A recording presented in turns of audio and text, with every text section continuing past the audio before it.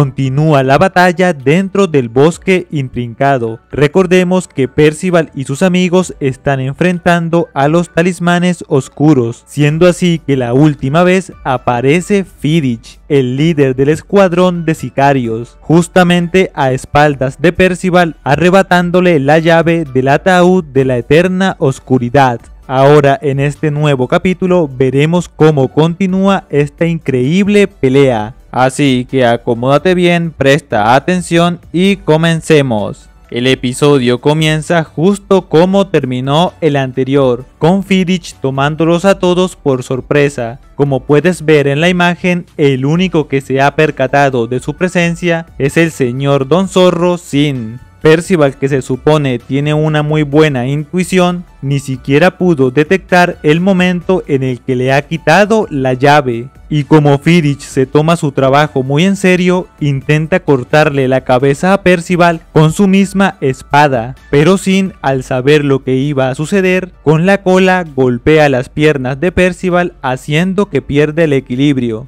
logrando desviar la estocada de Fiddich al casco de Percival, el cual recibe un fuerte espadazo. Pero como este sujeto es muy peligroso, Sin le da la orden a Donnie que se mueva rápidamente y que los demás se alejen. Hay que hacer algo para recuperar la llave. Así que Donnie, con su magia de telequinesis, le quita la llave de la mano lanzándola muy lejos, desarmando a Fiddich dejándolo expuesto a su magia, el cual lo toma con su mano rápidamente e intenta replicar lo que hizo con Doronach, asimilándolo a una piedra y arrojándolo lo más lejos que puede lo cual me sorprende porque Donnie se ha vuelto valiente. No solamente ha enfrentado al más grande de los talismanes, sino que ahora es tan osado para intentar lastimar a su capitán Fiddich. Obviamente él es muy ágil, así que fácilmente cae de pie sobre un árbol.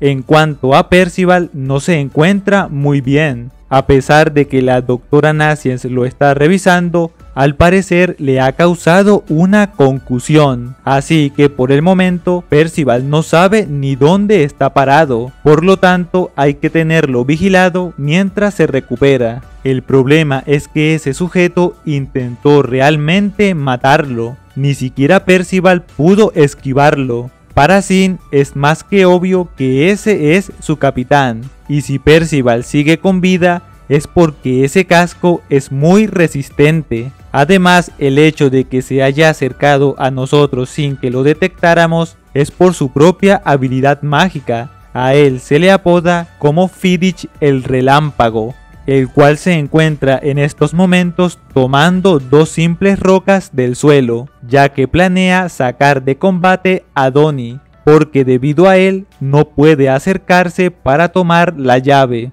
así que le arroja una roca muy suavemente, la cual Donnie la toma en el aire con su telequinesis, ya que el poder mágico de Donnie tiene dos grandes debilidades, la primera es que solamente puede utilizar su telequinesis en un rango de 25 pies y la segunda es que no puede detener objetos que no puede ver, lanzándole la segunda roca justo detrás de la primera desde una posición donde él no pueda verla, golpeándolo directamente en la frente, en este punto me sorprende que Sin no haya hecho nada para avisarle a Donnie del posible efecto de la segunda piedra, obviamente dejando muy mal herido a Donnie, con enormes cantidades de sangre brotando de su cabeza. Así que Naciens le pide que haga presión y no suelte. El capitán de los talismanes oscuros se siente completamente lleno de vergüenza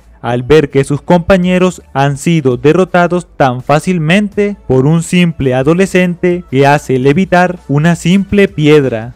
Obviamente Burgi y Doronach se disculpan con él, ya que a pesar de que hayan sido advertidos de que no se sobreconfiaran porque eran niños, eso fue lo que les sucedió y por eso es que han terminado así de mal. Cuando el rey Arturo le dio la misión de ir a matar unos simples niños, él realmente se estaba oponiendo a esa idea, pero ahora que los ha conocido en persona, se ha dado cuenta de que son muy peligrosos. Además, no puede dejarlos vivir, ya que podrían revelar que los talismanes oscuros han sido derrotados, y eso es algo que él no va a permitir. Pero antes de terminar con la vida de cada uno de ustedes, él prefiere llenarles la mirada de terror. Justamente ese será el momento en el que él les arrebatará la vida. A lo cual levanta la mano y desde las alturas cae alguien que ya conocemos, un personaje al cual ya habían derrotado. Es Elgin el Carroñero, otro de los talismanes oscuros, el cual ha llegado hasta ese lugar para conseguir un poco de venganza. Pero como lo puedes ver, en ese estado no puede ni siquiera mantenerse en pie. Pero claro,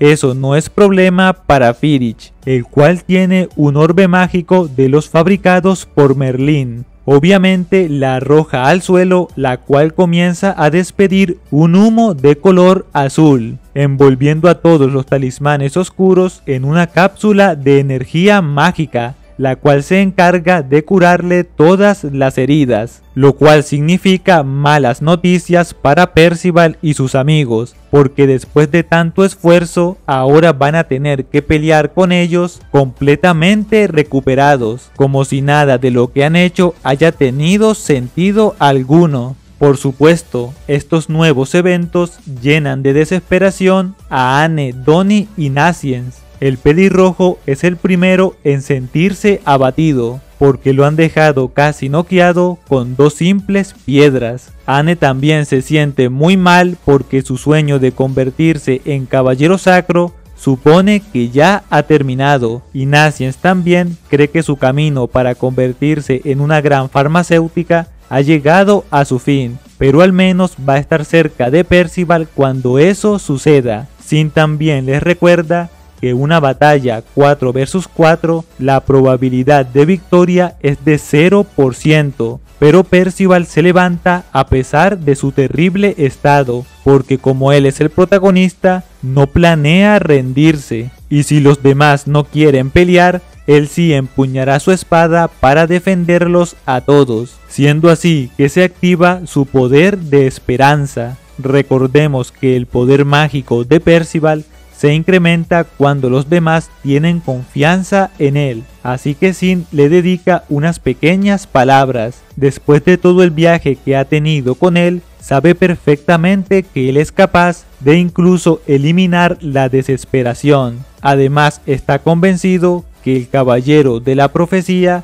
es Percival, uno de los cuatro caballeros del Apocalipsis que salvarán el mundo suficiente motivación para que los demás se levanten y cambien drásticamente su actitud, llenando así de poder mágico al joven caballero del apocalipsis, el cual se recupera instantáneamente de todas sus heridas, ya que también una de sus habilidades es la autosanación. También extiende su espada lo suficiente para empujar hacia atrás a todos los talismanes oscuros. Así que Doronach le sale al paso y utiliza su poder mágico de impacto, pero Sin logra avisarle a tiempo a Percival para que adquiera una posición defensiva, siendo Percival impulsado hacia atrás pero sin recibir daño ninguno. Pero ahora las cosas son muy diferentes, porque los amigos de Percival están listos para enfrentar cada uno a un talismán oscuro. El observador de Fiddich se da cuenta que todos ellos han perdido aquella imagen de terror por unas simples palabras de Percival. Así que toca cambiar el objetivo de la misión. Por el momento no van a ir por la llave, siendo que Fiddich les hace una seña con sus manos para que tomen una formación, la cual es rodear a Sin, ya que su verdadero problema es el pequeño zorrito rosado, lo que significa que el próximo capítulo, si nadie interfiere, veremos por fin al señor Don Zorro peleando contra Fiddich. Pero antes de que la batalla comience, hay una pregunta que Fiddich quiere hacerle. Como tú eres su líder, ¿quién eres realmente? porque al ojo del buen entendedor ya se habrá dado cuenta que las victorias de Percival están fuertemente influenciadas por Sin, el cual a mi parecer se ha dejado rodear a propósito para permitir que sus compañeros descansen, aunque yo me permito teorizar que Sin ha permitido esto porque sabe que Hendrickson ya está cerca de ese lugar y que intervendrá a favor de él, porque también es un caballero sacro del reino de Leonés. Y así termina el capítulo de esta semana, que lo hayas disfrutado como yo lo disfruté, nos vemos hasta la próxima entrega, chao chao.